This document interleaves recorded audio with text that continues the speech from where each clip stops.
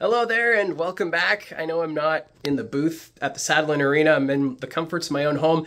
That's why I've got two jerseys over my shoulder, the Barrie Colts and the Seattle Kraken. I'm a jersey collector and uh, yeah, I've got quite a few jerseys. My wife might say I have too many, but I like it. The jerseys are pretty sweet, and uh, I figured I'd showcase a pair of them because there's some big news out of the Ontario Hockey League today. Uh, it was announced this morning that Eduard Sale, the first round pick of the Seattle Kraken has signed an agreement to join the Barrie Colts. It's exciting times for Colts fans because uh, Sale's got a lot of good talent. He won silver with Czechia at the World Juniors last winter. And uh, this is a, a, Colts team where there's still some decisions that have to be made, uh, particularly with the overagers.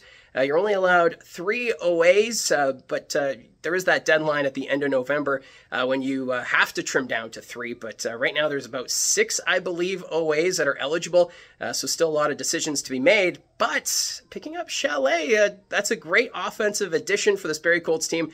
The Central Division right now, just looking at paper, it looks like it could be a little open. I know if there's some that are picking the Sudbury Wolves to maybe be the top team in the Central, and you know they do have a lot of returning players. The Sudbury Wolves should be a good team in the Central, but I like the talent still that the North Bay Battalion have, and even Mississauga. They had some great pickups at the OHL trade deadline uh, when they moved some of their big names and they brought in uh, younger talent, uh, which I think Mississauga could surprise a few people this year.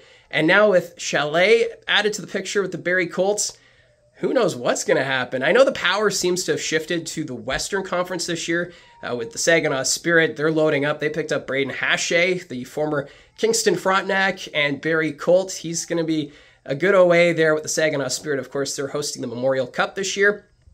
So it's going to be an interesting uh, run. Of course, everyone starts with a clean slate uh, once the regular season begins. Uh, but right now, it's the start of training camp, and the Barrie Colts making a big splash today, uh, getting uh, Eduard Sale. We'll see how he fits in with the lineup. We'll have to wait and see when he joins the team. Uh, of course, there's still the NHL rookie camps and training camps. Uh, players in the Ontario Hockey League, they're going to be joining those rookie camps soon, and uh, it's going to be interesting. This is the, this is a fascinating time of year when all the camps are starting up. Uh, who's going to stick with the NHL club? Who's coming back? Uh, Sale, he's quite the talent, and I'm sure Barrie Colt fans are going to be very excited uh, to see him in the Colts colors coming up in a few weeks.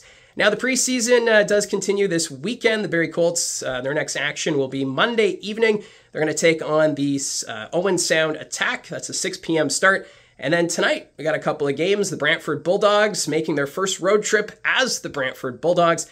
They're going to be down in Erie to take on the Otters. And uh, the Mississauga Steelheads, they also kick off their preseason with a tilt against the Guelph Storm. So I thought I'd come on here quick, uh, talk about uh, the news this morning about Eduard Sale. Let me know what you think of the Colts' chances. Does this change anything in the Central Division? Or uh, who do you got winning the Central or even just the Eastern Conference? Let's start some discussions. And uh, just uh, thank you for tuning in.